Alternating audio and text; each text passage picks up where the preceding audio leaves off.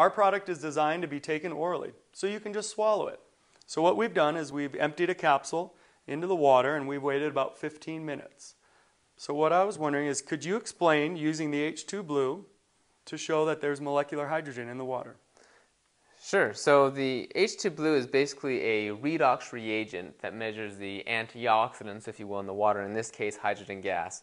So when it's blue, it's oxidized, and when it's reduced, or the antioxidant has given its electrons to, to the blue, it turns clear. So we can first test this with, with just bottled water. Okay. There's no antioxidant, no hydrogen gas in this, and you'll see what happens. If you want to yeah. add just a little bit of water, about 6 milliliters or so, to there. And what I will do is I'll add one drop of the H2 blue reagent to this beaker, and we add it, it should it'll go, go, it'll go blue and, and stay blue. So it should stay blue.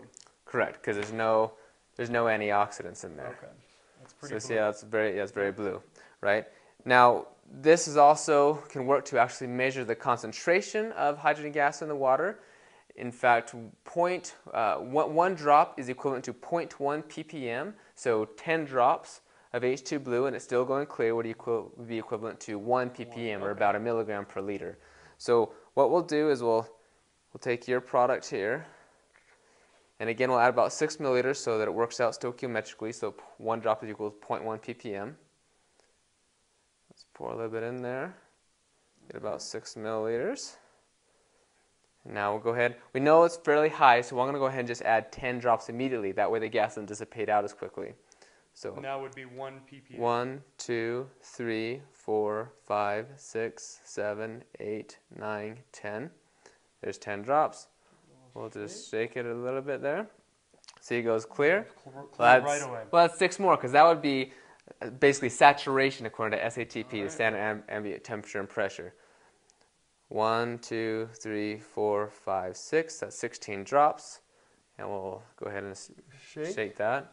Oh. See, that turns very yeah. clear. So if you compare the two, that's blue, one drop, no antioxidant, no hydrogen gas. This one here, at least at least has 1.6 ppm.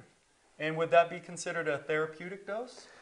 Yeah, uh, when you, when you can look at the studies, the animal studies and human studies, the average is around 0.5 to 1.6 ppm, and again showing marked therapeutic effects. And in fact, your product likely has much more than that because of uh, you know, the magnesium you add. You can actually calculate how many molecules of hydrogen gas be produced. And anyways, yes, it's certainly a therapeutic dose when you compare that to the literature and what the research is showing. Okay, well, thank you.